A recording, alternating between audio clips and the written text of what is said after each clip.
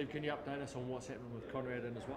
Yeah, well, Lee's been uh, due to have a baby uh, in a couple of weeks' time, but looks like she's going to come a little bit early. So uh, she started showing signs last night. So uh, we got Conrad on a plane this morning, and um, he'll be home, and, and hopefully uh, everything goes well. And, and if it goes really well, uh, he could possibly be back. But we're not holding a breath on that. Um, so we've got Ryan Crotty coming over.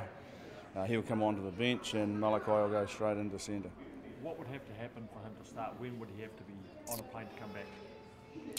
Oh, there's a whole lot of things would have to happen. You know, you, everything over there would have to be great. Uh, he'd have to be mentally uh, in tune, and then we'd have to get him back here. You know, sometime by at least one or two o'clock in the Saturday afternoon. So there's a whole lot of things, but we're, we're not worried about that at the moment. We're just hoping that everything goes well for them, and uh, it's their first child, so it's quite an exciting time for them.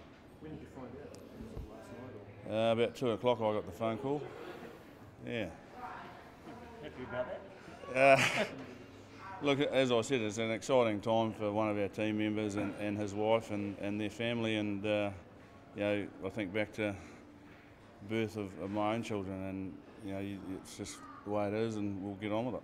You're reasonably comfortable that this team will be able to handle last minute distractions you've had to Yeah, we've had a with f- we've had a few in the past, um, so this is just another one. And, and you know, if you expect things to happen, then you plan for them. And you know, Malakai's started the last Test match, so he'll be fine. And I'm, I'm sure Ryan Crotty's pretty excited getting on the plane at the moment. Crotty onto the bench rather than giving either Izzy or one of those other boys a crack. Yeah, well, we thought about that, but the best cover for the for the Test match is Ryan coming on, and he covers second and centre, and we've got plenty of cover for out wide, so uh, we're okay there. How excited is Malakai? I haven't seen Malakai this morning. I was sort of trying to catch up on that s- couple of hours sleep on me, so I did that. Can you tell us what sex and weight you went with with the Conrad Smith uh, baby sweepstake?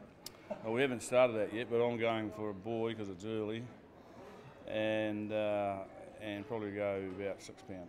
You, you hopefully might you know throw the name Stephen in there somewhere, maybe as a second name, Um, maybe not as a first.